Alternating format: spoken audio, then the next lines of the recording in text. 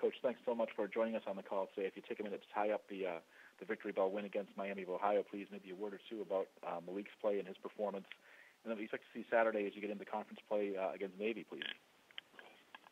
Well, obviously, it was a uh, crazy, wild finish for for us, and um, I think that the, the ability for us to stay together and continue to battle through and not panic. I think that's what, as we really look at the whole thing over, as a program, as a team, you know, whether you say offensively or defense, we didn't panic. We're down there in the fourth quarter with, you know, a lot of backs against the wall and a lot of different things, and you saw our guys just kind of keep believing, keep plugging away. We, you know, did some things offensively to give ourselves an opportunity, and then uh, you know tried to put some heat on them with, you know, um, last last series there, whether we onside kicked it or kicked it deep.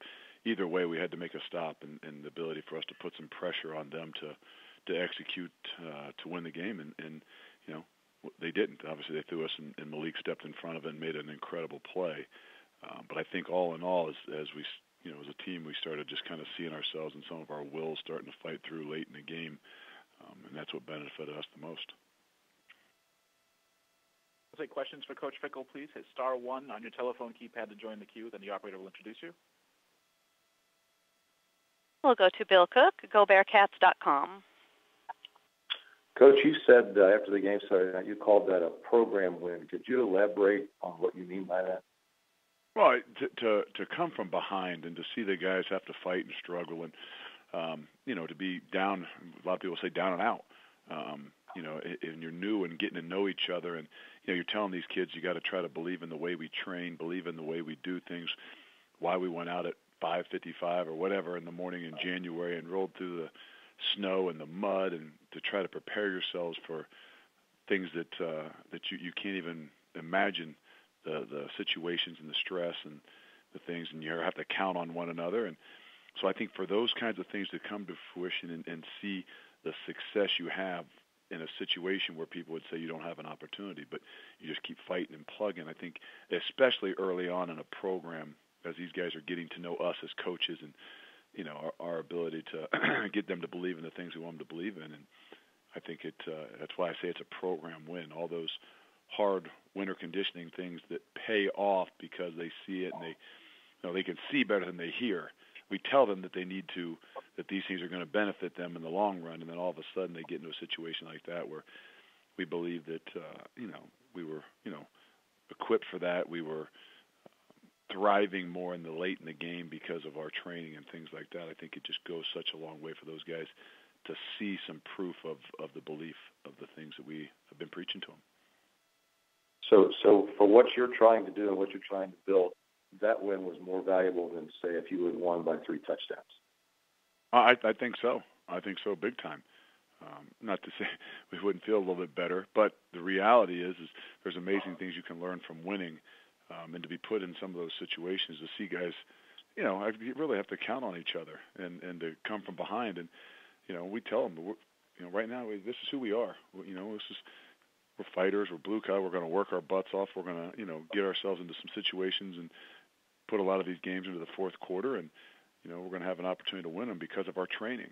And you know, we've kind of said that from January on that, you know, we're not sitting here claiming we're going to go out and score 55 points and outscore people or shut people. I mean, no, we're gonna we're going to do it as we do, and we're going to find a way to be successful. We're going to get games to, you know, to the fourth quarter where we think that you know our training and things are going to give us an opportunity, are going to give us the benefit and, and the upper hand to, to win those games. And we kind of say the same thing about the season. We want to play our best ball at the end of the year and at the end of games. Great. Thank you. We'll take our next question from Dan Tortora, wakeupcalldt.com.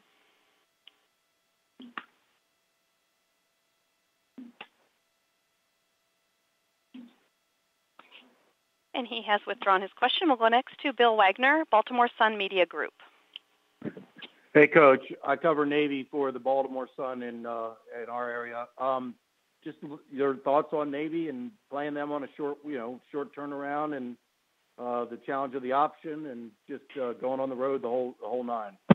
Oh, it's it's everything. I'm, I'm sure you ask it very similar to everybody that comes because it, people just don't see it that often and it's unique for us. Um, it's unique in the first year in your program. you know, because even a few years in, guys are settled into, you know, what you do offensively, what you do defensively, um, what you do special teams, all the things that, you know, that you're having an opportunity to do over time. Um, you know, being in their first year, then all of a sudden, you know, having to play the, the option, which is is different, in, in the way you handle things, the way you go about things. So it gives us, you know, a little bit.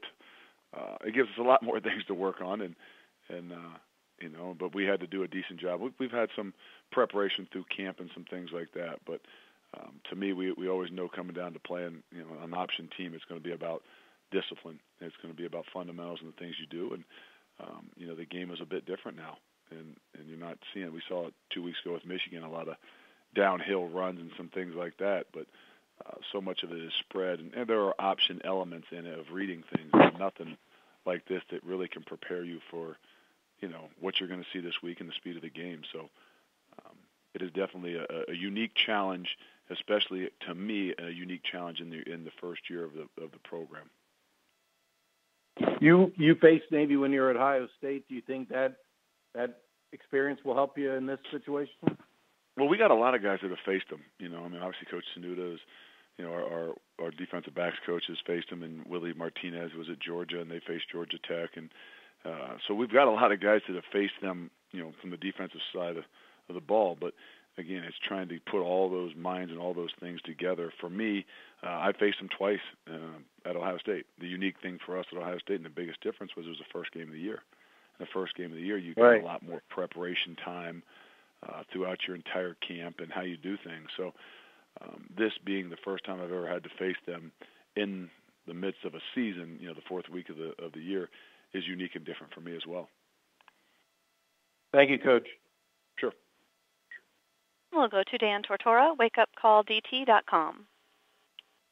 Hi, Coach. How are you? Good. The uh, just to ask about Hayden Moore and just what you could say about how far he's come in these first few games is what you've taken away from your quarterback at this point.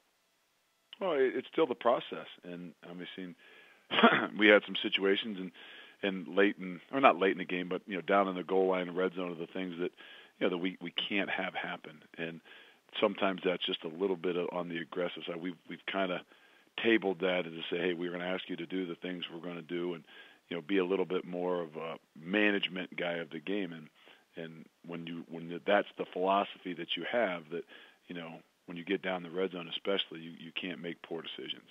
Um, so that's the only thing that we're going to continue to harp upon for him other than that, again, he's he's done the things that, that we've asked him to do in management.